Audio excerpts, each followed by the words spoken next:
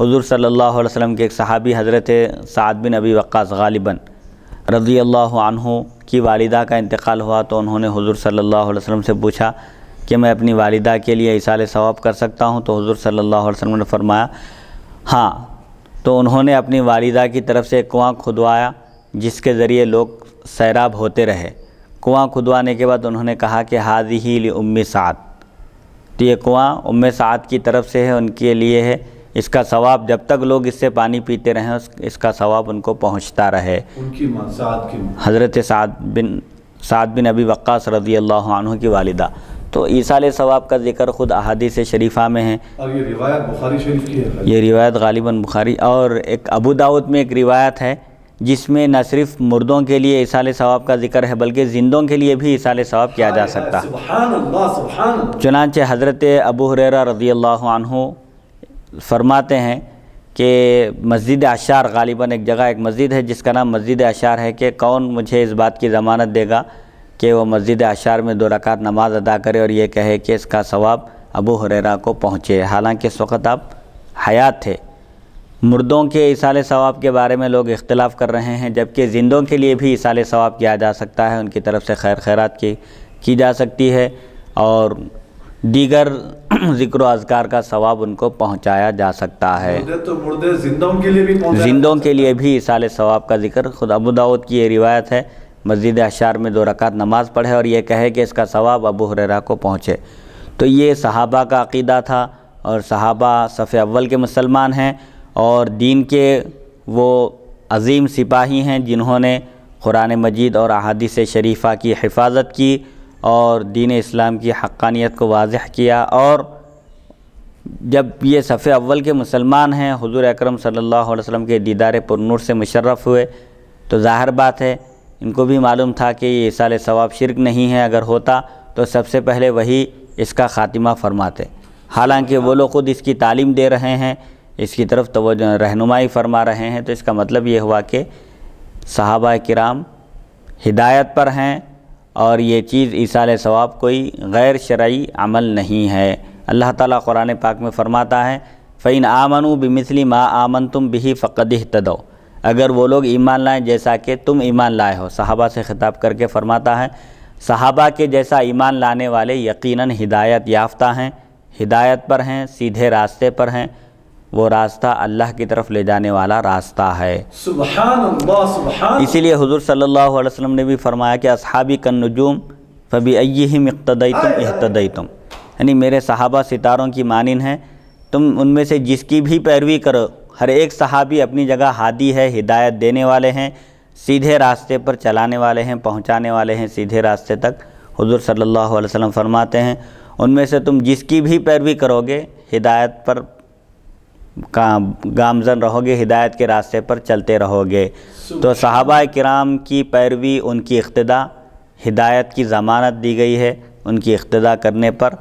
اور حضور صلی اللہ علیہ وسلم نے، بلکہ اللہ تعالیٰ نے خود صحابہ کرام کے جیسا ایمان لانے کو ہدایت کا معیار قرار دیا ہے کہ صحابہ کے جیسا عقیدہ رکھنے والا ہدایت یافتہ ہے، مومن ہے اور صراط مستقیم پر چلنے والا ہے۔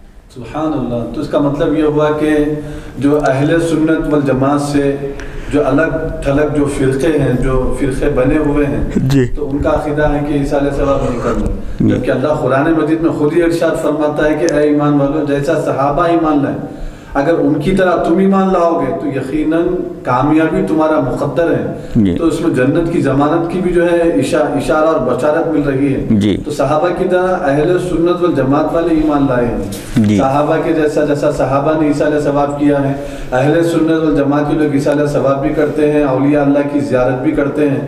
اور لیکن شرعی جو حدود ہیں اس کو مد نظر رکھتے ہوئے جی۔ اس کے مطابق جو ہے وہ پورے کام کرتے ہیں اہل سنت والجماعت۔ جی۔ اور اہل سنت والجماعت سے ہٹ کر جو لوگ عیسیٰ علیہ ثواب شرک درگاہوں پہ جانا شرک اولیاء کی زیارت کرنا شرک اللہ اصلاح فرمائے ایسے ہمارے بھائیوں کی۔ تو یہ لوگ جو ہے صحابہ کے عمل سے ہٹے ہوئے ہیں۔ جی۔ اصلاح کی ضرورت ہے یہ۔ جی۔ اور عام طور پر مخالفین جو عیسال ثواب کے منکر ہیں وہ لوگ یہ آیت پیش کرتے ہیں وہ اللہ صلی انسان اللہ ماسا دوسرے کے عمل سے اس کو کیا فائدہ ہو سکتا ہے؟ قرآن پاک میں تو اللہ تعالیٰ فرماتا ہے، انسان کے لیے وہی ہے جس کی وہ کوشش کرے۔ یعنی جو عمل کرے گا، اسی کو اس کا کی جزا ملے گی، اس کا بدلہ ملے گا۔ لیکن محدثین، مفسرین اور تمام فقہا، ائمہ اہل سنت و جماعت بلکہ سب یہ فرماتے ہیں کہ وہ اللہ صلی انسان علامہ سا یہ حکم منسوخ ہو گیا۔ یہ سابقہ امتوں کے لیے تھا کہ جو عمل کرے گا وہی اس کا بدلہ پائے گا، اس کی جزا اس کو ملے گی۔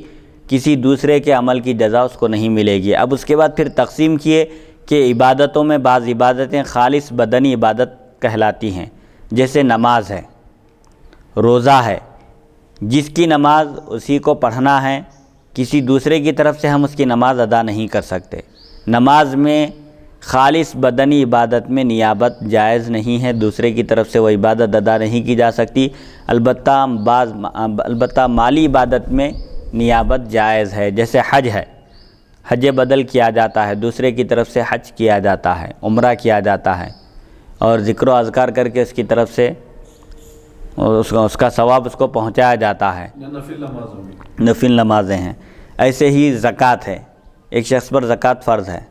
اس کی طرف سے کوئی دوسرا ادا کر رہا ہے نیت کر کے، یا کسی شخص کا انتقال ہو گیا، اس کے ذمے روزے باقی تھے، اس کی طرف سے فدیہ دے رہا ہے۔ تو یہ شران اس کی اجازت ہے۔ اور اللہ سے امید ہے، فقہا فرماتے ہیں کہ اگر کسی کے ذمے نمازیں باقی تھی، روزے باقی تھے، اگر ان وصیت کیا تھا تو اس کی وصیت کے مطابق فدیہ دیا جائے گا، اس کی طرف سے صدقہ کیا جائے گا۔ اگر وصیت نہ بھی کرے اور رشتہ دار اس کا لحاظ کر کے اگر اس کی طرف سے خیر خیرات کریں صدقات کا اہتمام کریں تو اللہ کی ذات سے، اس کی رحمت سے قوی امید ہے کہ اللہ تعالیٰ اس کو قبول فرما لے گا اور اس کے خطاؤں کو اور اس کے گناہوں کو بخش دے گا۔